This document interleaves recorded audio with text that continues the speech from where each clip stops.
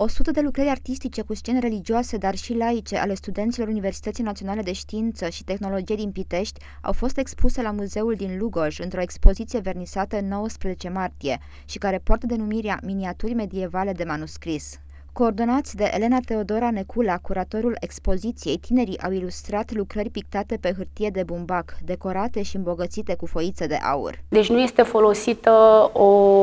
substanță care se aplică cu pensula, ci foițe din uh, pachete de aur aplicate peste aceste litere, care ornamentează foarte bine decorațiile și uh, vrejurile de jur împrejurul lor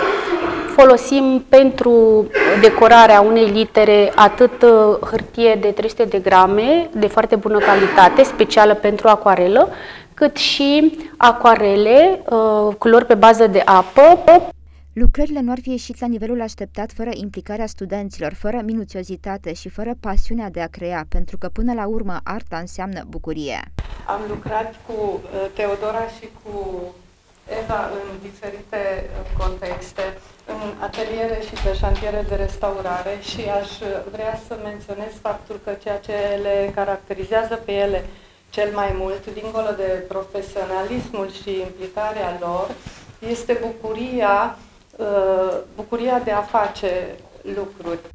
Despre semnificația miniaturii medievale a vorbit Daciana Vuia, directorul muzeului din Lugoj. Miniatura medievală, o artă veche de secole, care ne aduce aminte, de ce nu, de începuturile creștinismului, atunci când uh, majoritatea manuscriselor uh, religioase erau în totalitate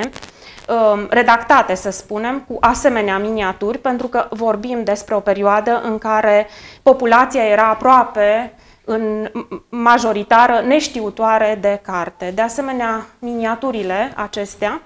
îmi aduc aminte de o vreme a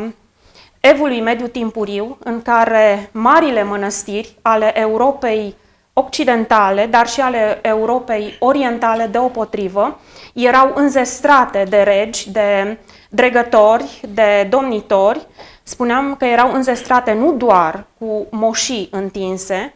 uh, nu doar cu odoare bisericești de aur și argint, ci și cu manuscrise uh, luxoase, extrem de valoroase,